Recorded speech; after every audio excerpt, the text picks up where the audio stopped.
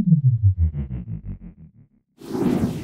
Hasta finales de año se reconstruirá el puente peatonal en la comunidad de Nicolás Bravo, que fue derribado de manera accidental por los camiones que trabajan en las obras del tren Maya, informó el secretario general del Ayuntamiento Capitalino, Oscar Zipcocom. El funcionario recordó que camiones pesados derribaron el puente, lo que generó la molestia de los habitantes de esa localidad. Sin embargo, aclaró que la reconstrucción no la hará el ayuntamiento, ya que es competencia de la Secretaría de Infraestructura, Comunicaciones y Transportes ya existe un canal de comunicación más claro, lo cual evidentemente va a poder abonar esa construcción de acuerdos entre el ayuntamiento y la población y evidentemente eso es parte fundamental del trabajo que está haciendo la Secretaría.